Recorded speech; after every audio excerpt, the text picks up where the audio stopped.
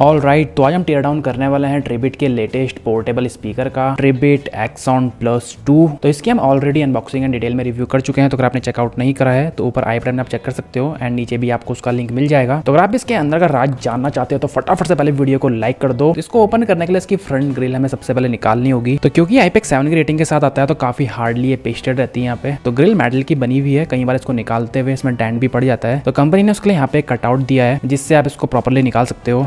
इस पार्ट में। जैसा आप देख सकते हो। तो ग्रिल निकल चुकी है। बिल्ड काफ़ी सही है इसकी। इसका ये वाला पैनल ओपन करने के लिए इसमें दिए गए हैं एट स्क्रू तो सारे स्क्रू हमने इसके ओपन कर दिए हैं।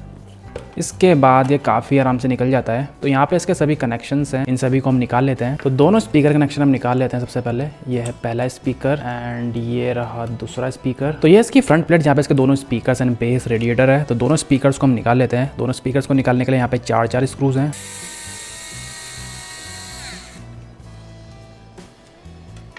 तो ये रहे दोनों स्पीकर्स कितने वॉट के स्पीकर है, इसके पीछे के बारे में मेंशन नहीं किया गया है। एंड इसमें दो बेस रेडिएटर हैं, एक फ्रंट पार्ट में, एक है बैक पार्ट में। यहाँ पे इसके आईओस का कनेक्शन भी है type C port and aux port का कनेक्शन यहाँ पे इसका बैटरी कंपार्टमेंट है, इसको हम ओपन कर लेते हैं। चार स्क्रू यहाँ पे दिए गए हैं इसको ओपन करने के लिए।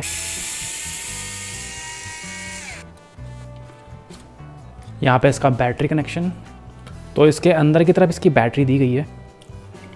ये है इसकी battery as you can see यहाँ पे 7.3 वोल्ट की 2400 सौ की बैटरी दी गई है। तो ये दो साल बैटरी है। तो एक बेस रेडिएटर इसका अंदर के पार्ट में है। सेम उतना ही बड़ा जितना फ्रंट पार्ट में है। अब इसकी मदरबोर्ड को मैं निकाल लेता हूँ। तो मदरबोर्ड काफ़ी आराम से निकल जाती है। सिर्फ़ ऊपर की तरफ़ आपको उसको पुल करना है।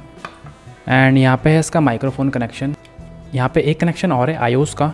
तो ये रहा इसका कैबिनेट क्वालिटी काफ़ी सही है भाई इसकी. यहाँ पे बेस रेडिएटर वेंट है. यहाँ पे है इसके आयोस अब आयोस अंदर की तरफ़ टोटली यहाँ पे पेस्ट किए गए हैं. एंड इसका जो माइक्रोफोन है वो यहाँ पे पेस्टेड है.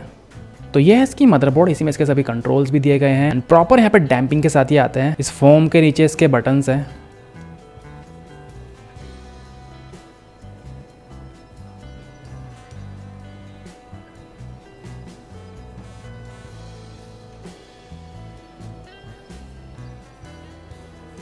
ऑल राइट तो मुझे आपको स्पीकर के अंदर का एक ओवरव्यू देना था एंड वो मैं आपको दे चुका हूँ। अब इसको हम फटाफट से क्लोज कर देते हैं एंड प्ले करके चेकआउट कर लेते हैं। तो सबसे पहले इसकी मदरबोर्ड को मैं वापस लगा देता हूँ।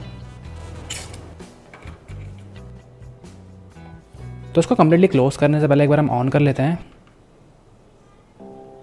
तो अगर आप इसका नेकेड बेस टेस्ट देखना चाहते हैं इसके स्पीकर एंड बेस रेडिएटर को वाइब्रेट होता देखना चाहते हैं तो आप मुझे इंस्टाग्राम या फेसबुक पे फॉलो कर सकते हो। वहाँ पे हम सभी स्पीकर्स का bass test and sound test upload करते रहते हैं।